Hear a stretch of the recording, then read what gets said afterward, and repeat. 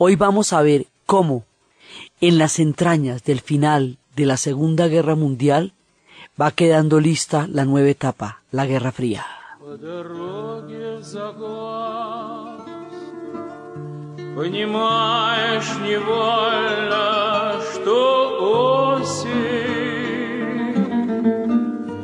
Затеряла июньскую удаль и августа пышную власть, что дороги больны, что темнеет не в десять. La vez pasada estábamos viendo cómo desde Kursk hasta la caída de Berlín, Rusia va emprendiendo la campaña que le va a permitir ganar la Segunda Guerra Mundial y convertirse en la potencia dominante junto con los Estados Unidos después de terminado el conflicto y cómo la suerte del mundo se decide, la decide ella y cómo ante ella es que se va a rendir incondicionalmente el ejército nazi en Berlín el 9 de mayo, en el Día de la Victoria, y habíamos visto la suerte de estos países que van siendo recorridos por el ejército rojo a medida que van avanzando desde Kursk hasta Berlín, como van bajando por el Báltico, Lituania, Letonia, Estonia, Polonia, y luego van bajando eh, Rumanía, Hungría, Bulgaria, Yugoslavia, hasta llegar ya a Berlín, y en Berlín hacer la caída, y estábamos viendo cómo Polonia va a tener una suerte sumamente adversa, porque Polonia, como habíamos dicho, fue repartida entre Austria, Prusia y Rusia en el siglo XIX, surge como nación eh, después de la Primera Guerra Mundial, la reparten en el pacto germano-soviético antes de la guerra, la dinamitan, la invaden y todo el problema empieza por la invasión a Polonia en la en primero de septiembre del 39 y al final después de que Polonia había creado desde el principio de la guerra un, gobierno en el exilio que estaba en Londres y que ellos lucharon todo el tiempo bajo la consigna de Polonia luchando, Polska luchando, que fueron un país que no tuvo la más mínima colaboración con los nazis en ningún sentido, que pelearon como los más grandes, como en la última ofensiva y en la última rebelión del 44, en ese momento los soviéticos se detienen en el río mientras los nazis acaban con los polacos y luego los polacos van a quedar en la órbita de los soviéticos. Así que todo su sacrificio y su dolor fue en vano durante los siguientes años, como lo había sido antes. Así que la historia de Polonia es absolutamente terrible y va a ser un punto de quiebre en las futuras negociaciones. Estábamos viendo todo esto. Pero es que durante la guerra, en el último tramo, se empieza a formar la prefiguración del nuevo orden mundial, que es lo que vamos a hacer cuando se acabe el conflicto. Y esto tiene tres etapas. Teherán, en la conferencia de Teherán en 1943, un encuentro privado que van a tener Stalin y Churchill en el eh, más adelantico en el 44 y las dos conferencias, las dos cumbres, Yalta y Potsdam, que son las que determinan el destino del mundo al final de la guerra. Entonces, en la conferencia de Teherán, ya en ese momento, ya la, ahí, ahí es cuando la Unión Soviética le dice en esa conferencia a los demás, ustedes tienen que crear otro frente de verdad para Dios, no me pueden hacer un frentecito, ni frentecines, ni frentontines, no señor.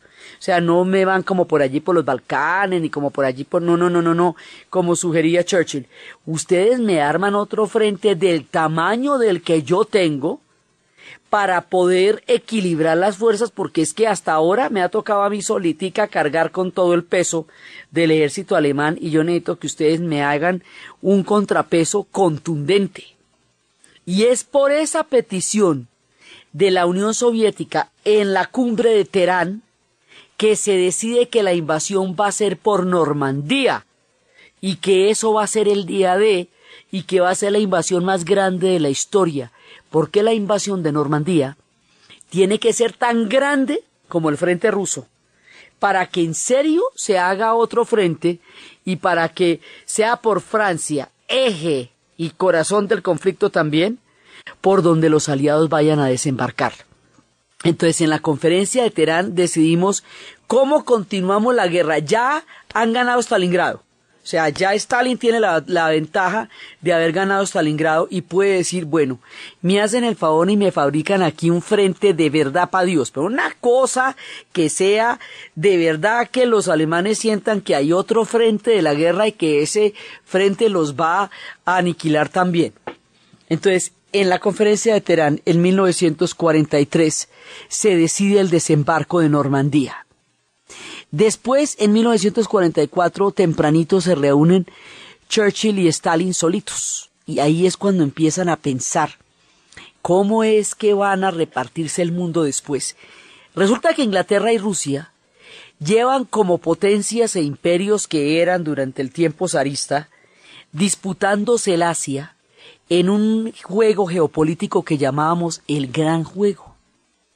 Pues ahora que ya la cosa está pintando, que ya se va a acabar, vuelven con el temita del gran juego y lo actualizan. Antes el gran juego se lidiaba en Afganistán, ahora lo vamos a hacer aquí en Europa.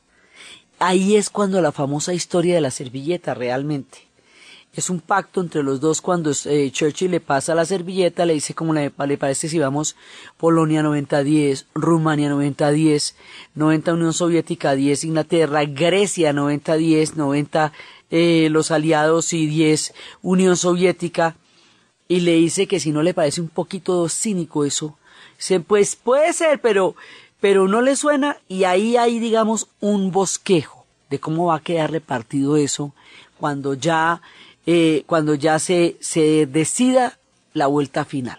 Ahí hay una, pero eso es como una especie de paréntesis entre ellos dos, una cosa así como íntima.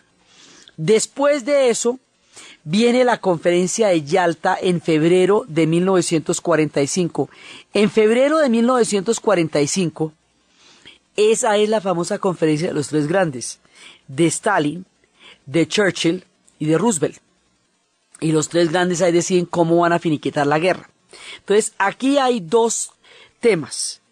Está el espíritu de Roosevelt, que dice que hay que crear un gran mecanismo de mediación, porque uno de los factores que hizo que la Segunda Guerra Mundial llegara al extremo que llegó era que no había organismos de mediación.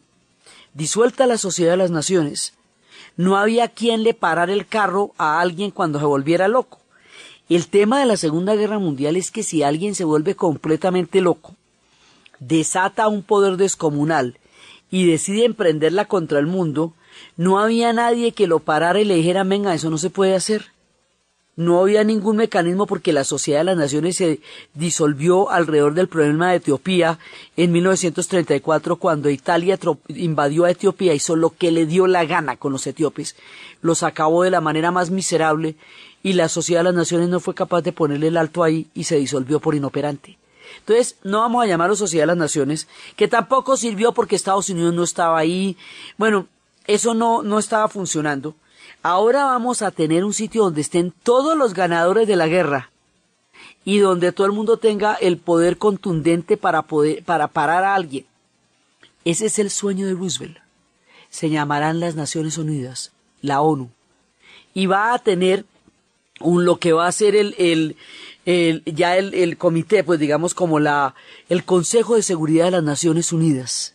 Ese Consejo de Seguridad está formado por los ganadores, por la Unión Soviética, por Inglaterra, por Francia, Estados Unidos, y en ese momento más adelante Chinita chiquita y más adelante Chinota grandota, pero en ese momento China, pues va a empezar China después.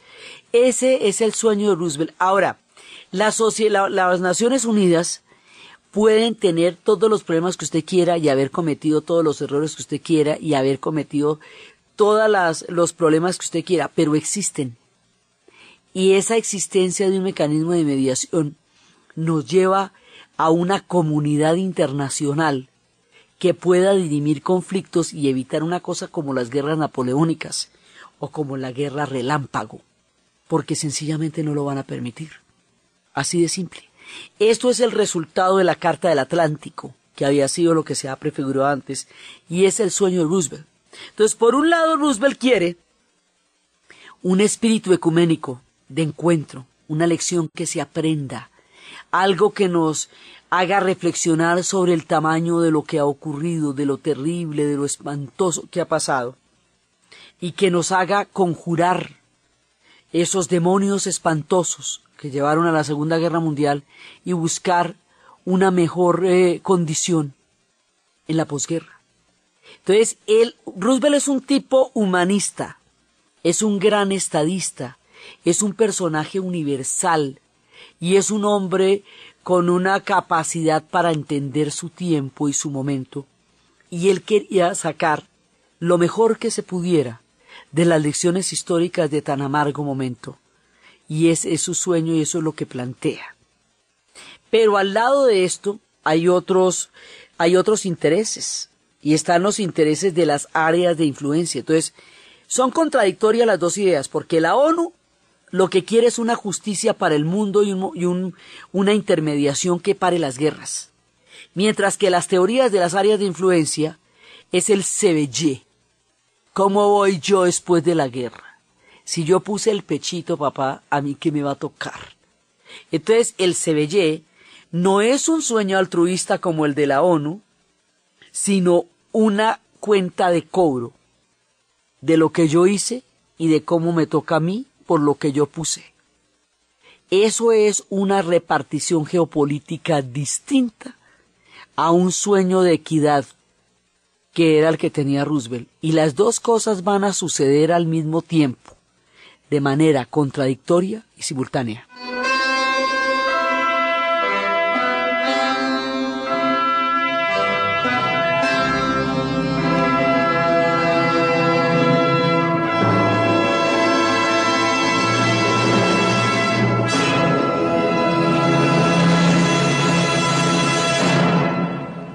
En Yalta ya se sabe que la guerra se va a ganar, que no va a haber una paz por separado, que nos vamos hasta la rendición incondicional de Alemania, que ya las cosas están, falta, no es que, no es que estemos al otro lado, pero ya, ya se ve el final de la guerra, se prefigura.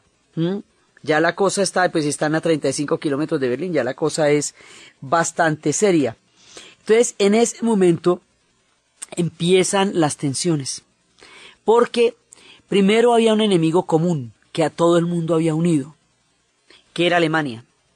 Pero ahora, cuando ya se prefigura la derrota alemana, el cómo va a quedar la cosa empieza a generar diferencias y tensiones. Primera tensión, Polonia. En ese momento, Inglaterra había recibido a los polacos como un gobierno en el exilio que reconocían legítimo que dirigía la gran resistencia que los polacos hicieron y que iba a sentar las bases de la nueva e independiente y soberana Polonia, de la misma manera que De Gaulle tenía clarísimo cómo era él el que iba a entrar a los campos elíseos a gobernar Francia, o si no se la repartían, igualito. Pero resulta que la Unión Soviética va a cobrar un precio muy alto por su sufrimiento Aquí el pacto, mire esta idea tan paradójica y tan dura y tan terrible de la historia. Stalin negocia sobre la base del dolor.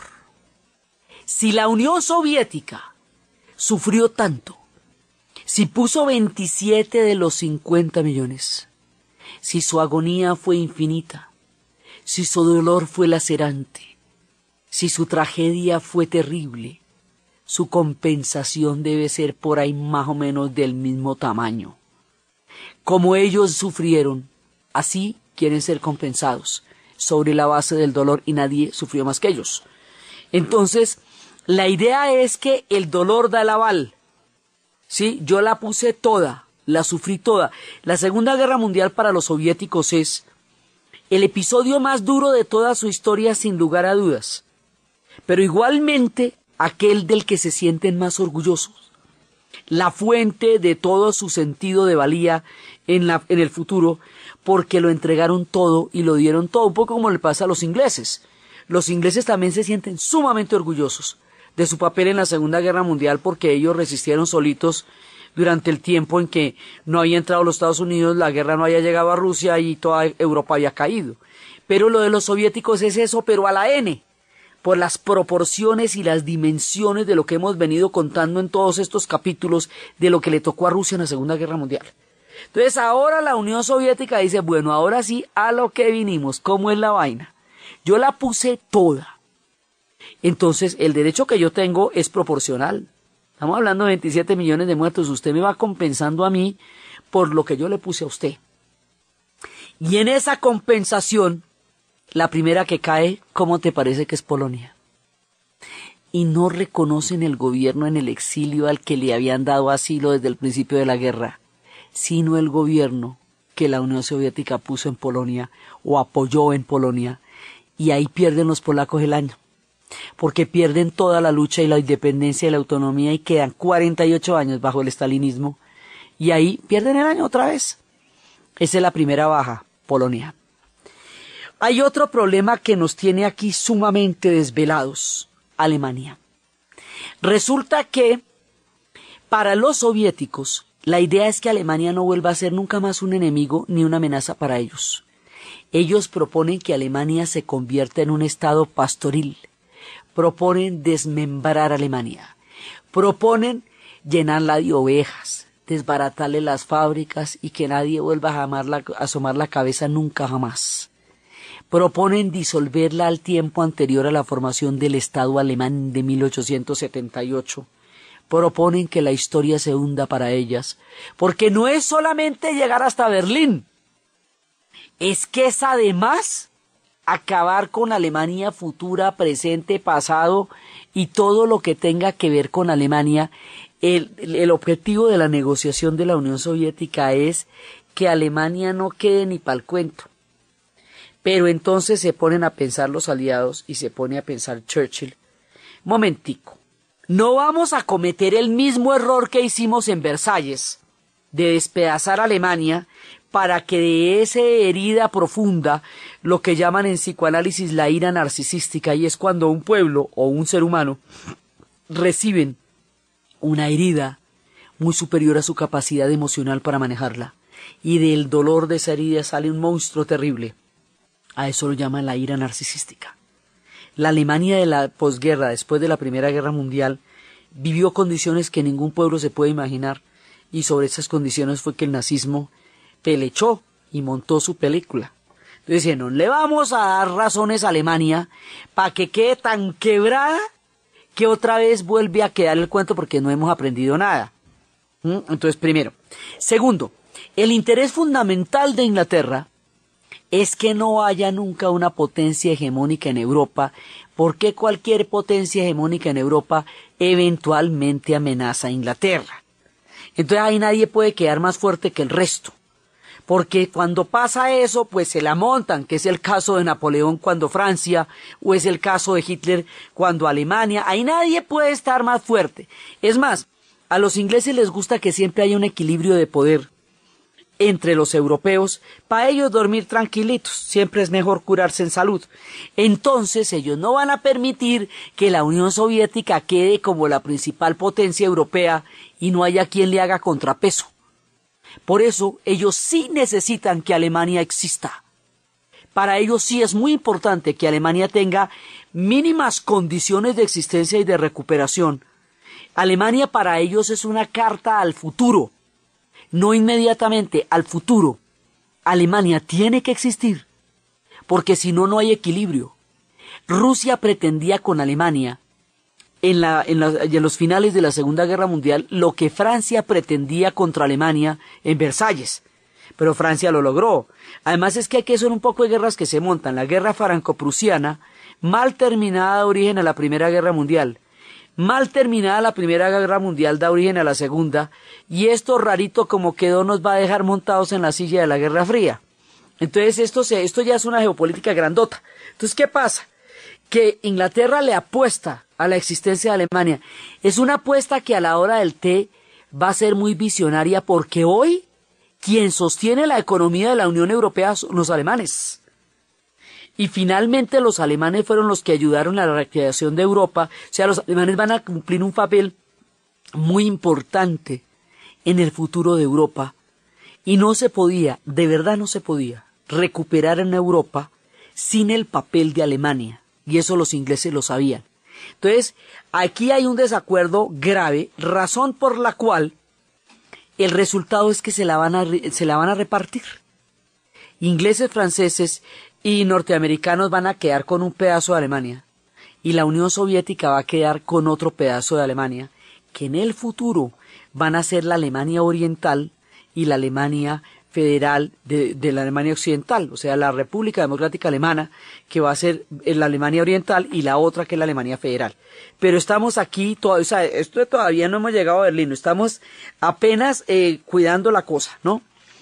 Entonces, esa conferencia sienta las bases para una futura repartición de Europa y también ahí estamos hablando de las áreas de influencia, las dos cosas y de la ONU. La ONU es un camino hacia la paz sumamente pesado, sumamente difícil, y es en junio de 1945 cuando la paz era un sueñito todavía firme pero, pero difícil, y es cuando se hace la Carta de las Naciones Unidas y es un sueño, es una, es una salvación de la paz mundial, es una defensa de los derechos del hombre, es una igualdad de derechos para todos los pueblos, es un aumento en el nivel de vida de todo el mundo, es la idea de la ONU, pero también, pero también es la, el área de influencia. O sea, las dos cosas están sucediendo a la vez. Uno es un sueño altruista planetario y el otro es un reparto del mundo estilo Ponqué. Sí, a mí me, yo me pido la cremita, yo la cerecita, y eso va a ser muy complicado, pues porque el mundo que ellos se repartieron no sabía que iba a quedar así de repartido.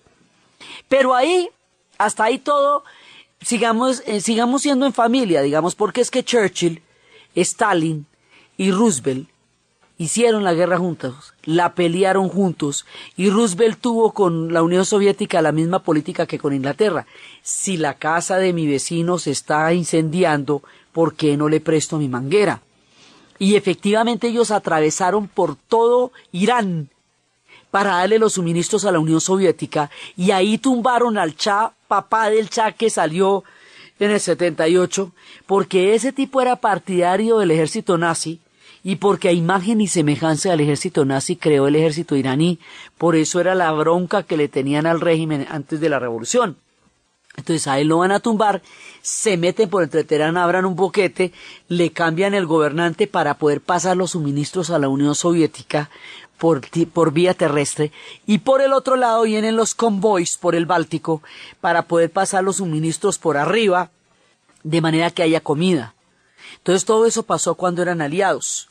La Unión Soviética quiere proteger sus fronteras, que nadie la amenace. Eso quiere decir que Lituania, digamos, aquí nos situamos en la vieja época de los zares. Lituania va a quedar sometida a ella, Lituania y Estonia también. Polonia va a quedar sometida a ella, ya no va a ser nunca más una amenaza, por lo menos en toda esta época. Alemania, que quede dividida ya que no la pudieron destruir, y va a quedar con la salida al Báltico, con la salida al Mar Negro, con el Bósforo, con todos los juguetes, con todo como quería, exactamente como quería desde las épocas de Iván, Pedro, Alejandro. Si usted piensa en Stalin como un zar, el hombre hizo con el manual del zarismo lo que todos querían, recuperó lo perdido en Brest-Litovsk, se, se aseguró de tener los bálticos de su lado, eso a los bálticos no les va a gustar, pero Stalin no les estaba preguntando, entonces la Unión Soviética va cogiendo un mapa muy grande y va a empezar a regir los destinos de Europa en estas conferencias. Pues la conferencia de Yalta deja sentadas las bases, pero ahí todavía son aliados y ahí todavía son amigos. Más noche la cosa se complica porque si bien la conferencia de Yalta es en febrero de 1945, todavía no se ha rendido Alemania, ¿no? Porque eso se rinde en el 9 de mayo, según lo hemos visto en el desfile de la victoria. La conferencia de Potsdam es en junio del 45, inmediatamente después de la rendición de Alemania. Inmediatamente después. La conferencia de Potsdam tiene otras características. Y las características de esa conferencia es cuando se deja ya sentado el mundo de la Guerra Fría.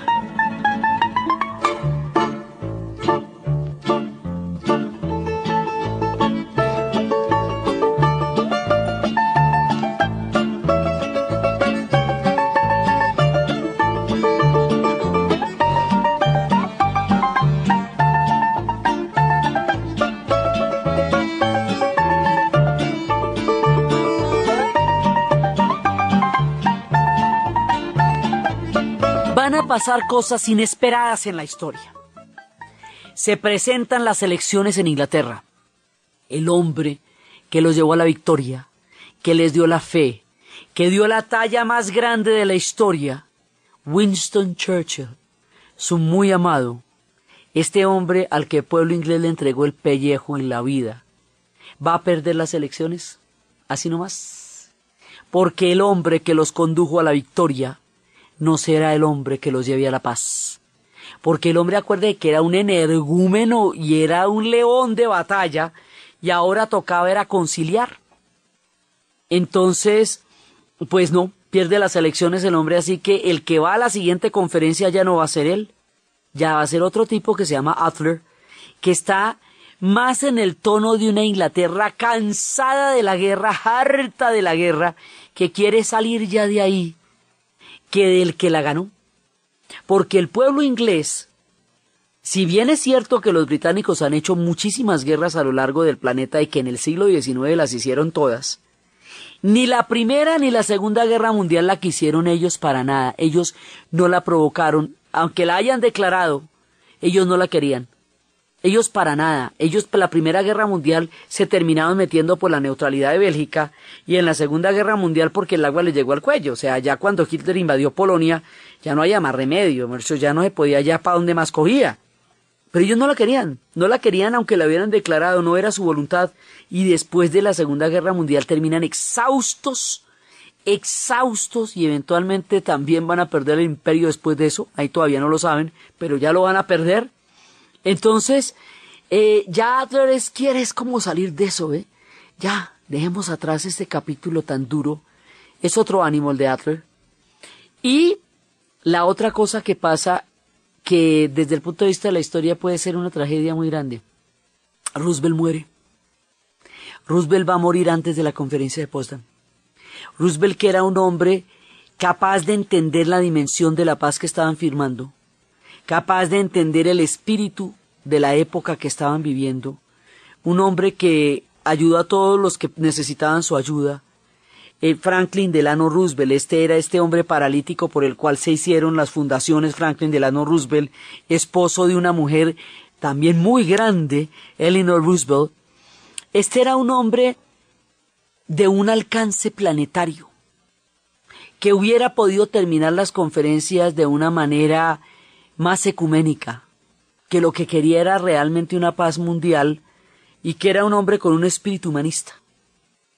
Este hombre va a morir cuando no toca, demasiado temprano, un pelito antes de lo que hubiera sido muy probablemente, él hubiera terminado la guerra de otra manera, porque su espíritu era otro, porque era un hombre grande, era un estadista y era un hombre, eh, digamos, avesado en la política. Él fue el que hizo el New Deal, el que él fue el que recuperó a los Estados Unidos de la Gran Depresión, fue varias veces presidente de los Estados Unidos y lo elegían y lo elegían porque el hombre lo hacía bien. Entonces volvían y lo elegían. Entonces él fue el que creó, digamos, como la equidad del Estado benefactor en Estados Unidos después de la Gran Depresión. Es un hombre con, un, con quilates de historia detrás. Este tipo se nos muere. Y vas a oír uno de estos hombres, nacido en el profundo. Estados Unidos puede ser muy cosmopolita, puede ser planetario, puede ser universal o puede ser profundamente localista, profundamente eh, local y puede tener un alcance eh, apenas local. El que va a subir como presidente de los Estados Unidos, que era el vicepresidente a la muerte de Roosevelt, es un tipo totalmente distinto. Es un tipo más bien ranchero, de un mundo más bien pequeño, belicoso él, Harry Truman. Harry Truman no tiene ni la mitad de los zapatos de Roosevelt. Harry Truman no tiene la el sabor y la experiencia de quien ha vivido, de quien ha conducido una guerra como ellos la condujeron. Harry Truman es otra persona totalmente distinta.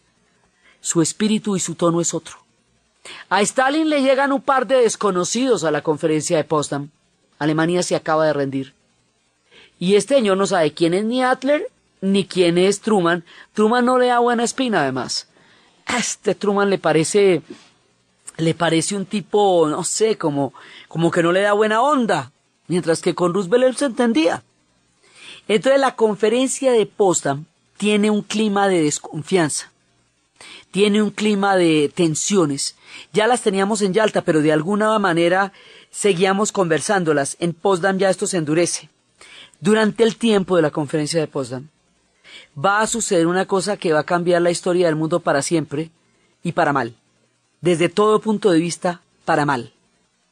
En el momento en que estamos negociando, sentados en la mesa, a las 7 de la mañana, le llega un telegrama a Truman que le dice, el bebé ha nacido bien. Quiere decir eso que el experimento de la bomba atómica en el alma ha salido bien. Quiere decir eso que los Estados Unidos tienen la bomba atómica. Y si le juntamos a un hombre de estrechamente, el tema de controlar la bomba atómica en la negociación del reparto del mundo, tenemos un personaje armado de fuerzas descomunales. Él le cuenta a Churchill, ¿sabe qué? La bomba esa que te dije, la tenemos. Se la cuenta a los ingleses. Si le contamos a Stalin o no. Entonces, si le contamos, Stalin ya lo sabía porque por los servicios de espionaje ya lo sabía. Pero esto quiere decir que pueden negociar todo lo duro que quieran. ¿Por qué? Porque todo el aparato de guerra de los soviéticos, todas las divisiones de tanques que se hicieron para la batalla de Kursk y que quedaron armadas de ahí en adelante y que pasaron por toda la Europa oriental, no pueden encontrar una bomba atómica, porque una bomba atómica, mucho bomba atómica mata todo lo demás, porque mata planeta. Es la primera vez que la humanidad dispone de un arma de alcance de destrucción planetario. Es la primera vez que la destrucción total y absoluta del planeta es posible. Es el acceso a una fuerza que excede en mucho nuestra capacidad espiritual, política y cultural para manejarla. La especie humana ni estaba ni está lista para manejar la fuerza atómica, porque con ese nivel de destrucción una especie que tiene este ladito tan oscuro, pues eso no le, no le rima. Y se la van a echar a Japón, porque Japón no se ha rendido. Y se la echaron como se la van a echar a Japón. O sea, Alemania se rinde el 9 de mayo. La conferencia de Potsdam es en junio. La bomba atómica es en agosto. Sí, ya el, el 8 y 9, el, el, el 6 y 8 de agosto es, son las bombas atómicas sobre Hiroshima y Nagasaki. O sea que los últimos meses de la guerra son absolutamente terribles, pero ya con esto hay un alcance geopolítico muy grande, porque quiere decir que finalmente el gran aparato de guerra de la Unión Soviética en ese momento no alcanza a ser suficiente para nivelar las cargas con los Estados Unidos, porque ellos ya disponen de la bomba atómica. Entonces de ahí para adelante es como los soviéticos se van a tratar de hacer a la bomba atómica, porque ahí se rompe todo el equilibrio, ¿eh? Hasta ahora, con la teoría de las áreas de influencia, podemos llegar a una negociación. Vulgar y terrible porque los pueblos que van a ser repartidos en esto, pues quedan repartidos como un ponqué. Pero podemos llegar a una negociación sobre la base de un equilibrio. ¿Sí? Pero con la bomba atómica ya nadie, nadie, me puede ganar a mí, porque yo soy el que la tengo. Entonces los soviéticos ahí ya, ya por lo menos los limito porque yo la tengo. Entonces, ¿qué quieren los soviéticos? Pues levantarse una a ellos también para poder tener otra igual a este. Y ahí nos metemos en la escalada de lo que va a ser una carrera armamentista atómica. Ahora, la bomba atómica, aparte de toda la ignominiosa destrucción de Hiroshima, la infame destrucción de Nagasaki, el horror sobre el pueblo japonés, va a cambiar la concepción planetaria de la geopolítica, porque aparte de su horror científico, físico, humano, es un hecho geopolítico, porque es el que le va a dar toda la capacidad de negociación a los Estados Unidos y es el que va a convertir el planeta en un lugar realmente peligroso porque donde a todo el mundo le dé por hacerse a una de estas bombas, los japoneses después dirán las bombas atómicas y los seres humanos no son compatibles. No hay potencias responsables con la bomba atómica y otras que no lo son. Tener una bomba atómica es irresponsable. Y en el parque de Hiroshima, en el Japón, hay una llama eterna que está encendida mientras exista una sola bomba atómica en el mundo todavía. Y el argumento del uso pacífico de la radiación, de la energía atómica como una solución en el futuro, va a tener dos problemas muy graves, Chernobyl y Fukushima. Y estamos todavía ante las consecuencias impredecibles en el momento de este relato de un escape de radiación en una central nuclear. Así que definitivamente, si hay algo que hemos probado, es que no podemos manejar esa energía, ni para bien ni para mal, porque estamos demasiado expuestos en el uso pacífico y demasiado dementes en el uso bélico. Eso nos excede a todos. Espiritualmente hablando, no es una especie que pueda manejar una energía de esas. Nos tocó una fuerza mucho antes de que pudiéramos saber qué hacer con ella. Y eso fue una tragedia desde todo punto de vista, para mal, porque nos rompe todo el clima en el que estamos negociando. Porque aunque la cosa era tensa, los intereses contradictorios, las áreas de influencia eh, en pugna, el sueño de las Naciones Unidas altruista con la bomba atómica, el escenario nos cambia por completo y nos entra un nuevo orden mundial. Entonces los Estados Unidos va a negociar durísimo. La Unión Soviética lo que conquistó ya lo tiene, ese si no me lo das cogido lo tengo. Porque le decían a Roosevelt que él cedió demasiado al haber cedido Polonia y al haber, eh, al haber traicionado, porque Inglaterra y Estados Unidos traicionan a los polacos en el exilio. Los venden, mejor dicho. Eh, también él alegaba, decía, pero es que, ¿qué remedio? Ya estaban allá. Entonces es que uno, a la hora del a mí no me estaban ni preguntando, mejor dicho.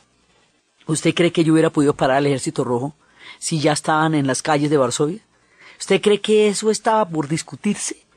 Eso ya estaba decidido en el momento en que llegaron los tanques allá. Sacarlos de allá hubiera sido armarnos un lío en lugar de tratar de solucionarlo, motivo por el cual quedó sacrificada Polonia.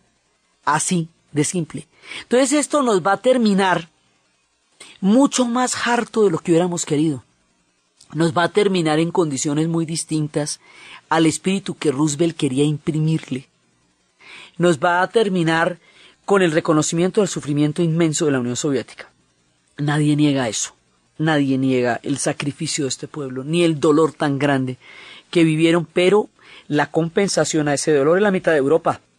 Así de simple. Entonces quedan con un territorio gigantesco y un área de influencia enorme y se convierte en una potencia absolutamente protagónica de los europeos. El sueño desde Pedro el Grande y desde Catalina de llegar a determinar los destinos de Europa ahora es una realidad.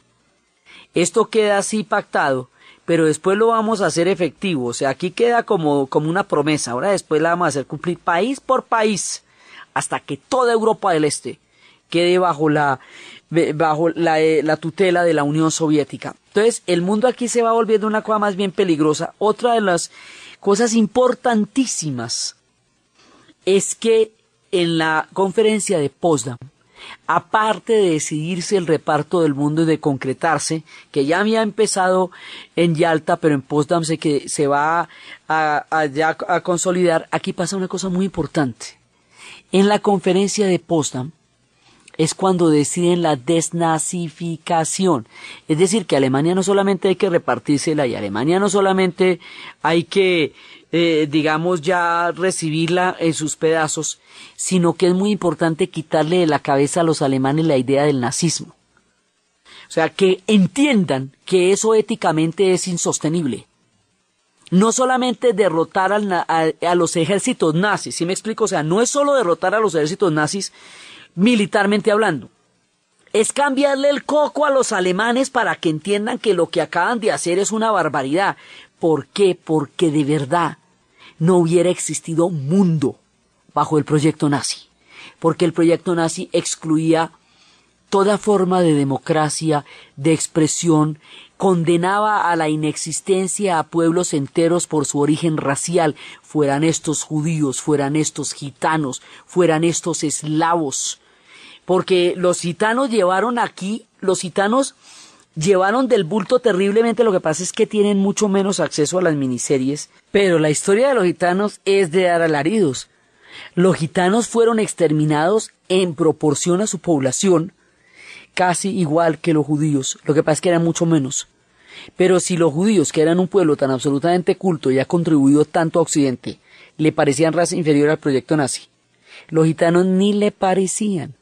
Y con esto añada toda la historia judeocristiana y la música, el jazz y todo el mundo negro, mejor dicho, a ellos no les parecía a nadie. El proyecto nazi era tan excluyente, era tan terrible, que nadie, sino ellos, llamados elegidos, podían habitar el planeta y eso era un exabrupto. Entonces queda claro que no solamente hay que derrotarlos eh, desde el punto de vista militar, sino que hay que someter al juicio de la historia la ideología del nazismo, porque de eso hay que aprender, porque lo que pasó fue monstruoso, porque en nombre de la ideología de la raza superior se mataron a seis millones de personas judías, se mataron millones de gitanos, se destruyó Bielorrusia, y, y, Stalingrado y Leningrado y todos los países ocupados y Ana Frank, me ha dicho, la monstruosidad del proyecto nazi no tiene ninguna gracia. O sea, no hay nada divertido en que hubieran sido un ejército tan eficaz si su eficacia estaba fundamentada en la monstruosa destrucción de toda forma de alteridad y de respeto al otro en la humanidad. Ahí deciden que esto se va a elevar a un criterio mundial y que el nazismo no debe tener lugar ni cabida.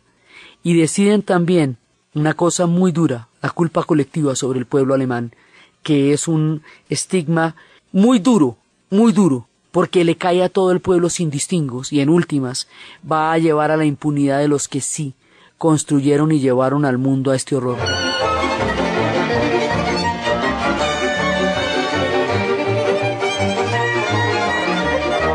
Los gitanos llorarán su dolor en Hungría, en Polonia, en Rumania, en todas partes, silenciosos, con su música solo con su música, sin el cine ni la conciencia del mundo llorarán su dolor también.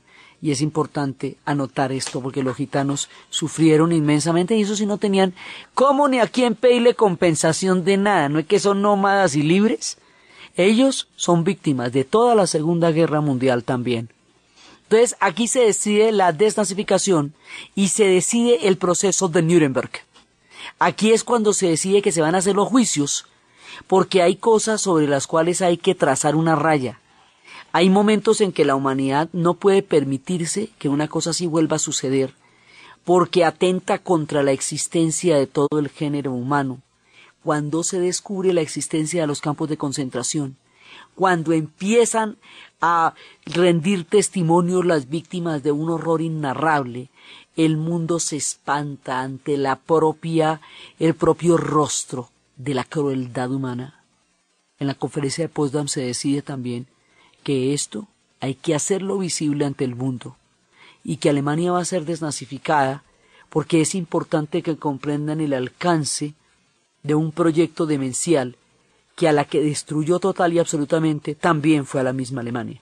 Porque Alemania queda destruida por completo. Se va a recuperar de una manera asombrosa y va a lograr ser la potencia que es hoy pero los años que vienen para los alemanes de aquí en adelante serán años muy duros. Es un mundo destruido y es sobre las cenizas que se va a tratar de construir un nuevo mundo.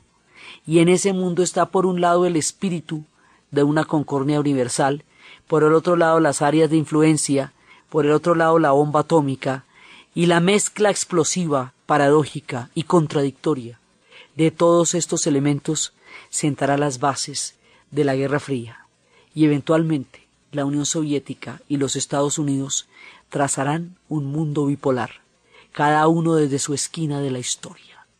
La manera como esto va a ocurrir, la suerte de Europa del Este, lo que va a pasar en cada uno de esos países, el mundo en el 48 y en el 49, cuando van a pasar tantas cosas insólitas y, van a, y tan definitivas y tan importantes en el destino de la segunda parte del siglo XX, y el papel que particularmente y de manera decisiva va a jugar la Unión Soviética en este nuevo mundo que nace de estas tres conferencias es lo que vamos a ver en el siguiente programa.